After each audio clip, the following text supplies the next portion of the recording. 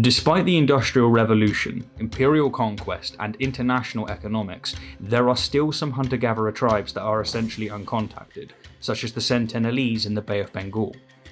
This tribe is known for their hostility to outsiders, and it is strictly illegal to attempt to contact them, because, among other reasons, they are not immunized against diseases.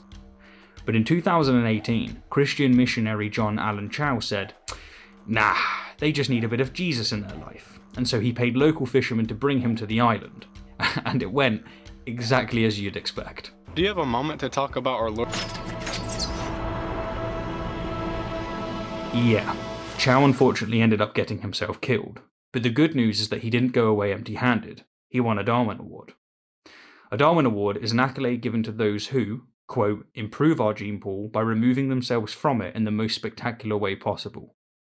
But why am I mentioning the Darwin Awards, you might be thinking? Well, on the 20th of September, Area 51 is hosting what I'm calling the Darwin Olympics. Beginning as a joke to search for extraterrestrial life, and developing into something that might just happen, over 2 million people have said that they are going to storm the top security military facility. And I'm calling the event the Darwin Olympics for obvious reasons. One could say that the difference between the Olympics and the Darwin Olympics is that in the Darwin Olympics, the gun goes off at the end. Divert or you will be shot down. All right, let's go. Damn it! So, in celebration of all things stupid, and in a vain attempt to capitalise on a trending keyword, I've teamed up with Thomas Westbrook, Holy Koolaid, to create two videos.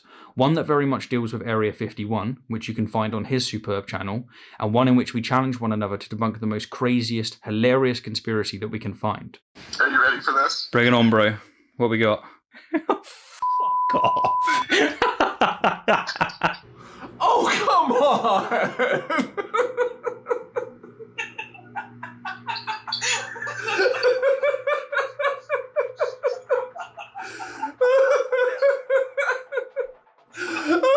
That's amazing. But to spice things up a little, we think that you should decide which of us wins the category of most craziest conspiracy and best debunk. This is yes, they can stop you all.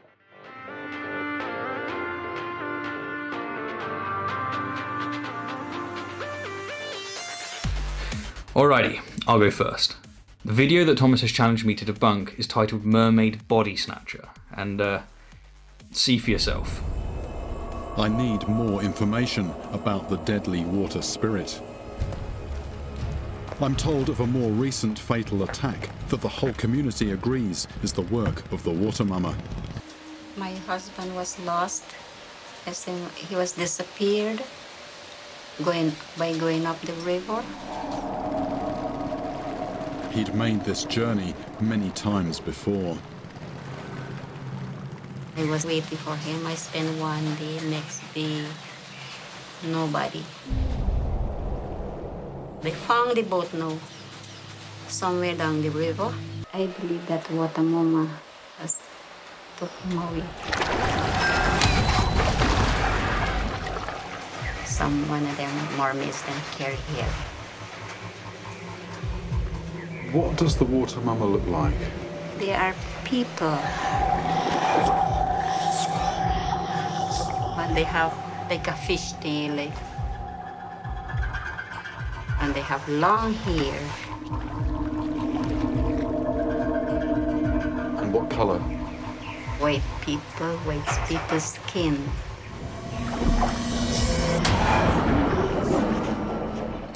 Yeah, that's right, killer mermaids. Around the world, legends tell of ships wrecked and sailors drowned, lured by the irresistible beauty of mermaids.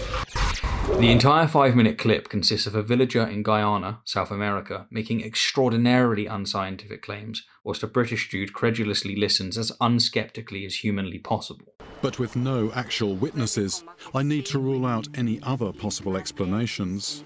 No sign of any fight. Hmm. No. Okay. What's the water like there? Is it is it rough? Is it deep? No. There's no way you could say he drowned or he got deep water. So it, the, the water was very shallow. Okay. Indeed, in and of itself, the clip is absurd. But after doing my research, I find it to be actually very misleading, and it's for this reason, I would wager, that the comments are so saturated with morons. The clip is evidently a segment from episode 10, season 6 of River Monsters, which is hosted by the angler and biologist Jeremy Wade.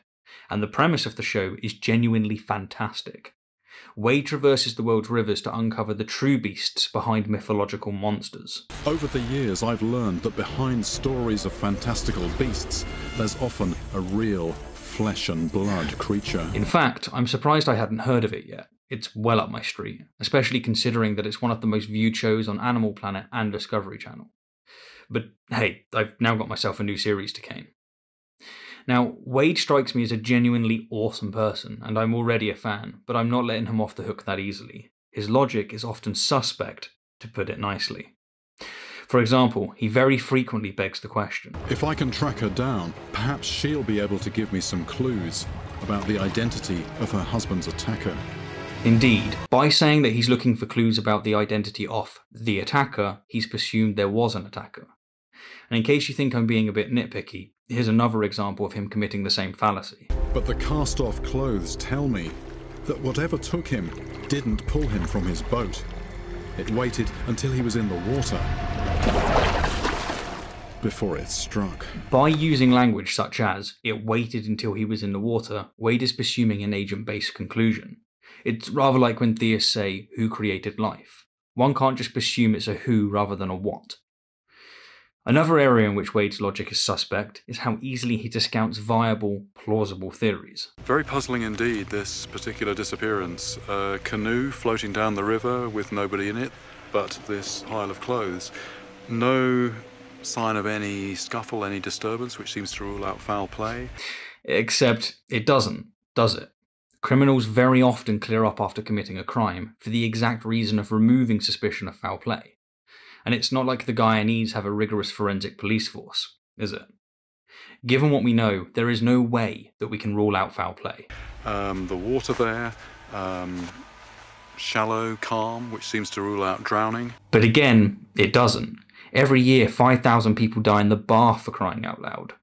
All it takes is a moment of low blood pressure while standing up, an undiagnosed condition, or a simple misplacement of one's foot, and bam, one is face first, unconsciously in the water. What's more, on top of these considerations, we should note that Guyana's ecosystem is notorious for having some of the world's most ferocious marine predators, such as black piranhas, which are known to tear chunks of flesh from victims and even sever bone, caiman alligators, which grow up to 15 feet in length and are notorious for killing locals, and arapaimas, which grow up to 12 feet in length, can weigh up to 450 pounds and swim at speeds of 30 miles per hour. And their scales look a hell of a lot like how people depict mermaids. But I don't want to give Wade too much heat, as he was making a documentary with the purpose of entertainment. I will say, however, that his trust in personal anecdotes is a bit jarring, but again, perhaps it's all part of the show. Ultimately, Wade concludes that the monster behind the folklore is probably Arapaima, and I have to say, I share his conclusion. A river monster as deadly as any beast of folklore. And if you caught a glimpse of something this size, colour, and shape appearing on the edge of your vision, your mind could fill in the gaps. And I especially appreciate him giving a nod to the phenomena known as pareidolia. But as for the specific case of the fisherman who went missing, I think it's more likely that he slipped, hit his head, drowned, and then nature relinquished what's hers through the medium of piranha dance. In any case, Occam's razor tells us that the chance of the cause being a half fish, half human is remarkably unlikely. The existence of such a creature would, for example, overturn and contradict centuries of anthropology and biology, and it would have been nice if Wade, a biologist, would have hammered this point himself. But again, the dude seems to be an absolute legend. So over to you, Thomas, and the uh, Flintstones. Good luck. Hello, my fellow apes. Thomas Westbrook here. Thank you so much, Steve, for letting me be a part of this, and thank you, viewer, for joining us. The title of the video Steve sent me is Did Dinosaurs Build the Pyramids? Let's take a look, shall we? In 2013, archaeologists discovered a hidden collection of papyri, documents written in ancient Egyptian hieroglyphs dating back 4,600 years. Professor Nabir Al Samud says these documents reveal just how the pyramids were constructed. He says the pyramids of Giza were built by dinosaurs. Okay, he's off to a really bad start considering that the earliest pyramids were constructed 66 million years after the last dinosaurs went extinct, with the exception of Neornithian birds, that is, but we'll keep watching. Lending support to his claim are images in ancient Egyptian art.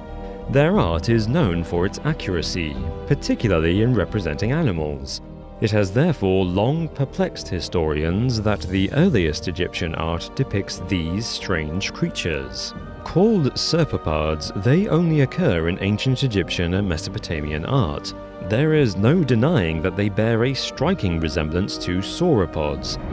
Egyptians, known for their hyperrealism, would never depict anything abstract or odd. Ignoring for a moment their drawings of this lion with a crocodile face and jackal-headed Jerry over here, the serpopard is actually a portmanteau combining serpent and leopard together. Serpopard. With their extended necks and swirling tails, only their cat-like heads distinguish them from dinosaurs. And their legs and paws and twisting poofy tails. If you take away their necks, they look exactly like wild cats. One of the oldest examples of serpopard art, the Narmer palette, dating from before 3000 BC, shows them being reined in by human handlers. This suggests these gigantic creatures were tamed by humans. And this depiction of Crocodile Face harvesting this little beta cuck's organs is proof that Crocodile Dundee hadn't been born yet. This is a depiction of legend. Egyptians didn't tame dinosaurs, and this jug painting of Theseus isn't proof of minotaurs. Then, in 2014, another remarkable discovery was made in Egypt.